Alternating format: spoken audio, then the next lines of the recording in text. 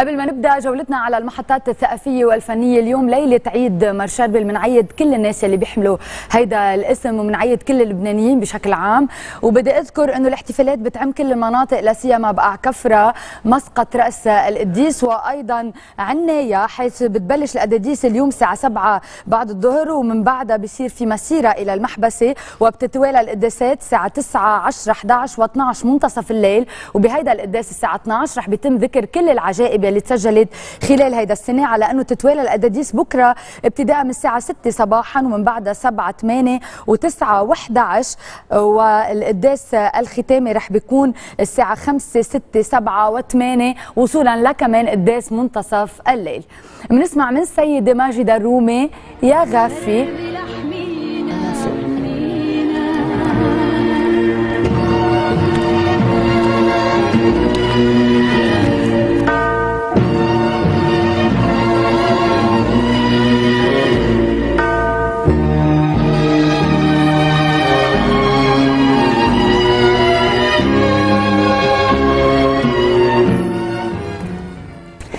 باخبارنا عن شو عم يحكوا هالبنات أو what are these girls talking about فيديو جديد لمنظمة كفا بمناسبة اليوم العالمي للسكان فتيات صغار عم بيرفعوا الصوت ضد تزويج القاصرات وللمشاركة فيكم هاشتاج حكي بنات لرفع الوعي حول مخاطر الزواج المبكر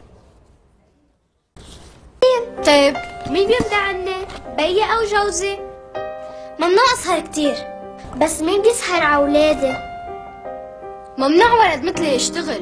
البيت والعيلة هو المشتغل ممنوع أحضر فلومة بفوق 18 ليش اللي ممكن يصير معي؟ مش أعرف من أي فيلم بهالعمر ما بدي حدا يعيط لماما.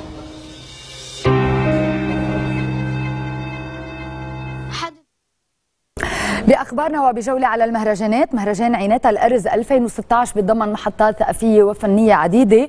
والبارز إنه رح يتضمن مسابقه وبطولة بلعبتين هن طاولة الزهر والليخة السبت 30 والأحد 31 تموز. وفي عليهم جوائز للرابحين الجائزة الأولى قيمتها مليون ليرة لبنانية والجائزة الثانية 600 ألف ليرة لبنانية. أيضا بأخبارنا ومن بعد عام ونص من الاستعدادات وبخطوة جريئة والأولى من نوعها بتدشن حمانه دار الفنان مكان مخصص لفنون المسرح والفرجه بإدارة مجموعة كهرباء المجموعة المعروفة اللي تأسست عام 2007 الساعة 3 نهار السبت 30 الشهر رح يتم وضع حجر الأساس على أنه تتوالى العروض مع مسرح سيرك أوبرا مع المغنية اللبنانية إليزابيث باز والختام مع نكهة شرقية مع الفنانة ريما خشاش وفرقتها الموسيقية. نسمعها عالبال يا عصفورة النهرين يا ملونين يا مكحلي العينين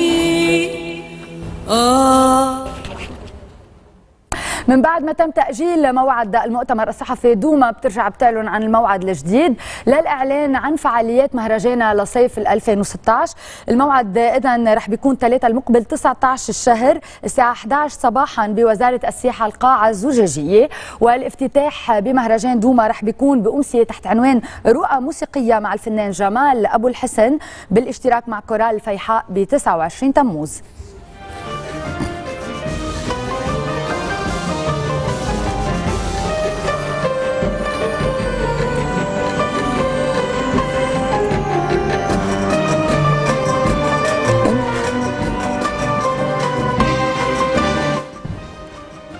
كنا عم نشوف الفنان جمال أبو الحسن يلي رح بيكون بافتتاح مهرجانات دوما ب 29 الشهر وبالحديث عن دوما بدي أرجع أذكر بالمسابقة يلي أطلقتها وزارة السياحة بالاشتراك مع L'Orient-Le Jour حول أي منطقة وأي ضيعة مفضلة عند اللبنانيين. دوما بتحمل الرقم ثلاثة إذا بدكم تصوتوا صوتوا برعاية رئيس حزب القوات اللبنانيه دكتور سمير جعجع بيدعي الكاتب جورج حايك إلى حضور حفل توقيع كتابه يلي بيحمل عنوان على دروب المقاومة وبيتخلل كلمة للأستاذ بيير جبور. بالإضافة طبعا لكلمة للكاتب بالإضافة إلى عرض لفيلم وثائقي الموعد اليوم السبت 16 الشهر 6 بعد الظهر بمركز صوت المحبة الثقافي مسرح جورج الخامس بأدونيس. افتتاح مهرجان بيت الدين أخذ ضجة كثير كبيرة مع عرض من بوليوود والفعاليات عم تتالى. ونحن بأقرب المواعيد رح نكون على موعد ب 29 تموز مع تحية إلى الفنان زكي نصيف مع جيما نوكيان سمية بعلبكة جداف عطية رنين شعار وزياد الأحمدية. ومن هالمجموعة بنسمع جداف عطية.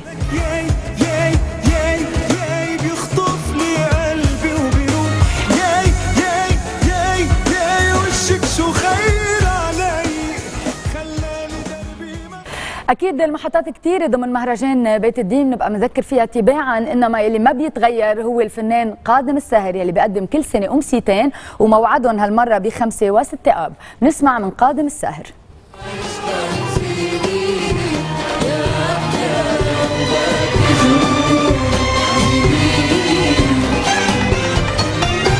يا أحلى امرأة بين نساء الكون أحبي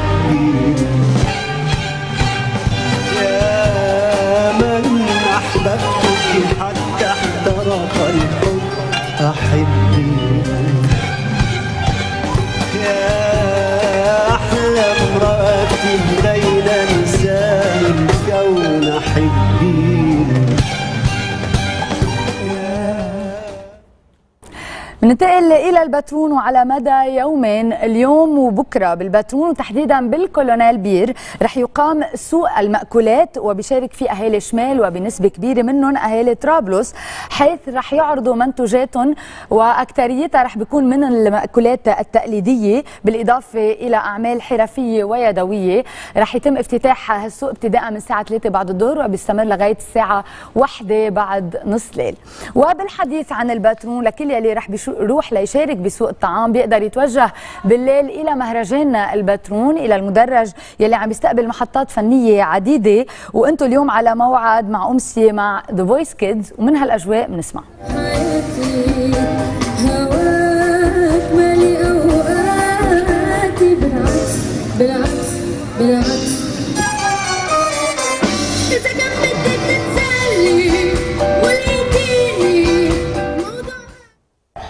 بخبر أخير ومن بين المهرجانات يلي عم بتصير تحديدا بكفر دبيان قلعه كفر دبيان بتستقبل الفنان جورج وسوف نهار السبت المقبل 30 الشهر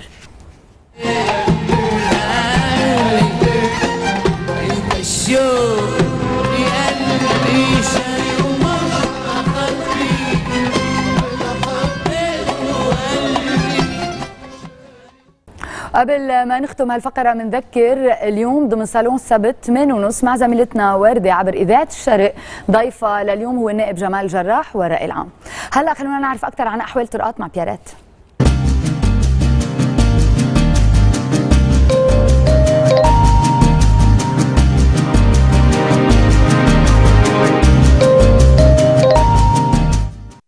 المؤهل الأول محمد معتوق من غرفة العمليات المشتركة التابعة لهيئة إدارة السير معنا على الخط. لناخذ منه تفاصيل عن وضع الطرقات حاليا. صباح الخير. أي صباح الخير يعطيك العافية. الله يعافيك. تفضل. آه حاليا عندنا حركة عادية جدا خاصة على داخل بيروت ما عندنا عوائق ما عندنا حركة ناشطة بأي مكان إلا باستثناء عندنا حركة ناشطة كورنيش مزرعة باتجاه سكنة الحلو مم. والحايق باتجاه جسر الواطي. كذلك عملنا حركة ناشطة مش ويفات باتجاه الحدث جاليري سمعان نعم. نعم. بدون توقف ما عندنا أي عوائق لحد الساعة إن شاء الله يضلوا هيك كل نهار السير مع إنه اليوم السبت والعالم الساعة. تروح على البحر أكيد إن شاء الله مم. نحن نتمنى أكيد لمواطنين عطله جيده خلال. السبت والاحد آه، بالنسبة للحوادث خلال ال 24 ساعة الماضية صار عندنا 8 حوادث نتج عنهم 12 جريح وللأسف نتج عنهم كمان قتيلين نعم. بحادث صدم نعم آه، مخالفات الرادار خلال 24 ساعة الماضية صار عندنا 522 مخالفة رادار سرعة زائدة. نعم. أكيد نحن آه، عبركم نحن نتمنى على المواطنين يتأيدوا بالإشارات والسرعة المحددة لكل طريق نعم في شي أشغال؟ كان في أشغال صغيرة مش كتير كبيرة على أوتوستراد جلديب الزلقه على جانب الطريق بعدها آه، ما مستمرة؟ على السعر نحن عم نشتغل ليلا كان في عندنا نحن أشغال ليلا بنفق سليم سلام نعم. آه، من الساعة 11 لل 5 انتهت. كان عندنا كمان أشغال التسفيت بنفق آه، المطار المسلكين كمان انتهت ليلا. نعم نعم. نتشكرك على وقتك المؤهل الأول محمد معتوق وبنتمنى لك weekend حلو. رح نتوقف هلأ مع break إعلاني ومن بعده بنتابع أخبار الصباح مع تقريرنا المنوع على اليوم ضلكم معنا.